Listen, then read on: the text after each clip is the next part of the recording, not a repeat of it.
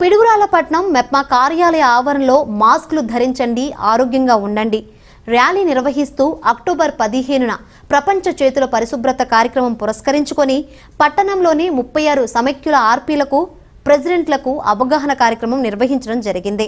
ఈ సందర్భంగా పట్టణ పేదరిక నిర్మూలన శాఖ అధికారి దీపా మాట్లాడుతూ ప్రపంచ ఆరోగ్య సంస్థ సూచించిన ఏడు రకాల చేతుల పరిశుభ్రత ఏ విధంగా చేయాలి అనే అంశం మీద వారితో చేతులు కడిగించి చూపించడం జరిగిందని ప్రతి కుటుంబంలో పెద్దలు పిల్లలు అందరూ పరిశుభ్రత గురించి తెలుసుకొని తొంభై ఏడు శాతం వ్యాధుల బారిన పడకుండా ప్రజలకు అవగాహన ఉందని అన్నారు.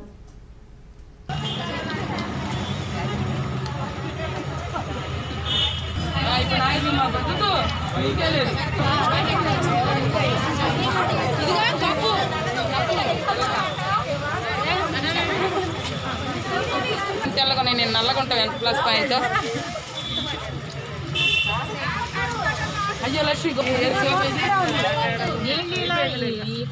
దాని లక్ష్మి అక్క అసలు.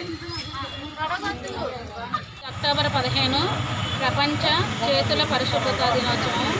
దీన్ని పురస్కరించుకొని ప్రతి సంఘ సభ్యురాలు వాళ్ళ ఇంట్లో కుటుంబ సభ్యులతో చేతుల్ని మనకి ఏదైతే డబ్ల్యూహెచ్ఓ సూచించిన విధంగా ఏడు పద్ధతుల్లో చేతుల్ని ఏ విధంగా శుభ్రపరచుకోవాలి అనే కార్యక్రమం మీద మెప్మా ఆఫీస్ నందు స్వయం సహాయ సంఘాలన్నింటినీ కూడా అవగాహన కార్యక్రమం కల్పించడం జరిగింది.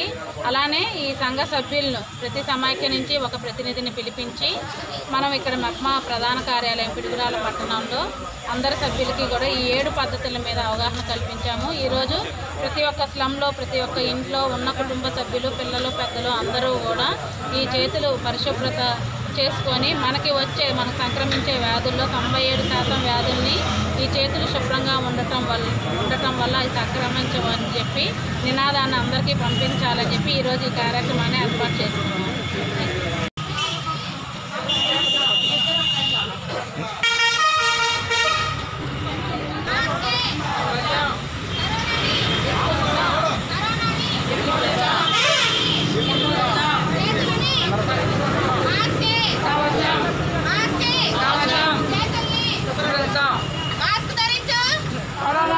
down.